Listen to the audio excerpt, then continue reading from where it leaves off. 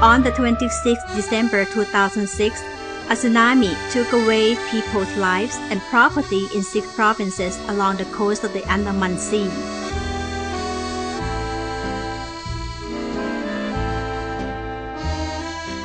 While the flood from the ocean left tear marks on the Thai people's cheeks, the torrent of support provided by the members of the royal family helped wash away those tears.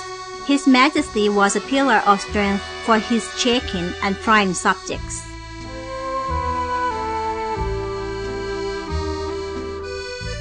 His Majesty's personal funds and donations in his name flow immediately to those experiencing the devastation and horror brought by the tsunami. Children orphaned in the catastrophe were immediately accepted under His Majesty's patronage and protection under the Raj Pracha Nukul Foundation, where they will be cared for and educated to the highest level possible.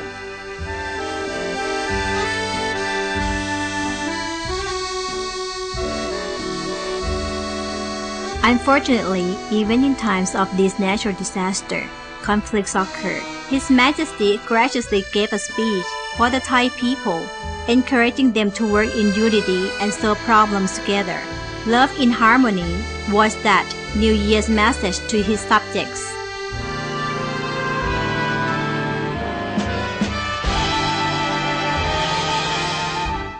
In a reign of over 60 years, the Thai people have known in their hearts that His Majesty the King was watching over them with love and care.